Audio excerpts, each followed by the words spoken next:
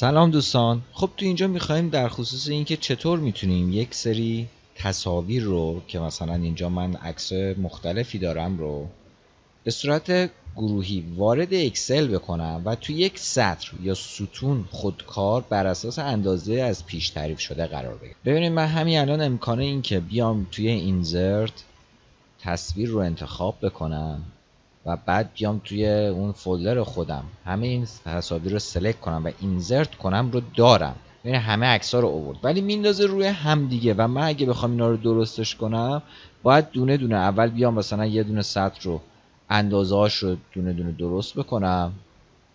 بعد بیام هر کدوم از این عکس ها رو جا بندازم توی این سلولا و مثلا اندازهشون رو هم تغییر بدم که اون چیزی که می‌خوام بشه. خب این خیلی طول می‌کشه و کار خیلی سختیه. مخصوصا واسه کسایی که می‌خوام مثلا مغازهشون رو تعداد عکسای زیادی دارن و کالاهاشون رو عکس بگیرن و بذارن تو اکسل خب چیکار می‌تونیم بکنیم که این کار رو راحت انجام بدیم؟ من اینو با حالت اولش برمیگردونم.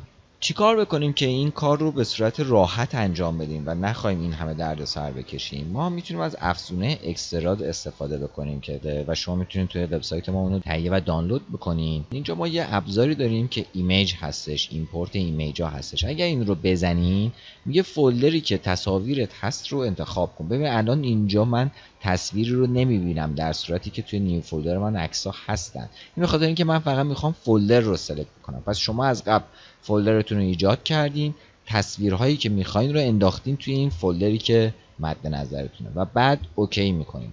اون وقت یه دونه فرم باز میشه. میگه کجا می‌خواین شروع کنین و تصاویر رو بندازین؟ مثلا سلول A2 اینجا پیشفرض هستش که از قبل من سلکت کرده بودم. ولی من میگم نه از A1 مثلا شروع کنیم. البته خوبه که از همون A2 شروع کنیم که سلول اول رو مثلا عنوان قرار بدیم. خب اگر کالمز سلکت شده باشه میاد توی ستون ها اون عکس ها رو میندازه. یعنی چجوری میندازه؟ میاد عکس اول تو A2 میندازه عکس دوم توی B2 میندازه C2 D2 الی آخر. اما اگر روز سلکت شده باشه میاد توی A2 A3 A4 تا هر چند تا عکس داری میره پایین و اونا رو میندازه. و عکس رو تو ستون A میندازه. پس من روز رو انتخاب می‌کنم که توی سطرها بندازه. اندازه اندازه ارتفاع و عرض عکس ها رو هم اینجا می‌تونم بر اساس سانتی متر تعیین بکنم. که مثلا می‌خوام بگم 5 در 5 سانتی متر باشه که بزرگ باشه بتونم ببینمشون دیگه.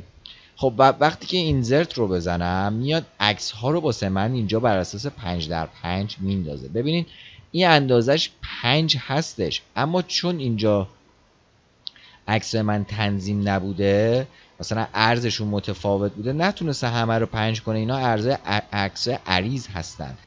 حالا اگه من بخوام مثلا اینا درست جا بشم مثلا بزرگترینش رو در نظر بگیره کافیه control A بزنم. کل این عکسام select بشه. بیام اول کلیک راست کنم. format object بیام توی این قسمت. توی این قسمت properties don't move or size رو بزنیم. و بعد ببندینش بعد بیاین این ستون رو مثلا بزرگش کنیم. اینجوری می‌تونم عکسامو داشته باشم. خب این یه نکته که باید در نظر بگیرین.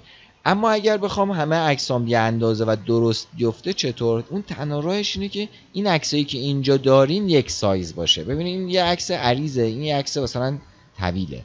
این عکس با هم اندازه هاش متفاوته. اگه بخوایم واقعا تمیز و خوب داشته باشیم باید عکساتون درست برش خورده باشه. که اونجا عنوانش رو می‌ذارم تصاویر مثلا کالا. خب این الان خیلی خوبه که من این تصاویر رو دارم ها. اما مثلا یه شخصی می‌خواد جلوش اسم این تصاویر رو هم بذاره. اون وقت چطور؟ یکی اینکه خب می‌تونه بنویسه. راه حل دومی که ما یه دونه نرم افزار داریم واسه خانش و تغییر نام فایل ها هستش. من اگه اینجا get name این فایل رو باید به صورت جداگونه بگیریم و تو ابزارهای اکسترا نیستش. باید بریم تو قسمت نرم افزارهای اکسل ما توی دیاکو. اونجا این فایل تغییر نام رو داریم. می‌تونین اونجا خریداری بکنین. خب من اگر این رو داشته باشم این میشه مکمل این در واقع ابزار اکسترا image من. اینجا get names رو بزنم. بیام اینجا new folder رو انتخاب بکنم اون عکسا میاد اسماشون رو واسه من می‌خونه. اگه اسماش از قبل درست باشه می‌تونم همینجا کپی کنم بیارم اینجا paste شون کنم و اسما رو داشته باشم توی این توی اینجا. اما نه اگه بخوام مثلا اسم جدید بهشون بدم و راحت باشم میام میگم مثلا این کالای مثلا میگم این کالای اینجوری. بهتره که اسم فایل ها انگلیسی باشه. به خاطر همین من میگم مثلا product یک محصول یک اینجا هستش. و این رو مثلا می محصول دو. بعد همینطور الا آخر مثلا تا محصول هفت دارم. حالا می‌خوام اسم این تصویرها توی new folder من هم به این صورت product یک دو الا آخر تغییر بکنه. به خاطر rename رو می‌زنم. new folder رو انتخاب می‌کنم دوباره.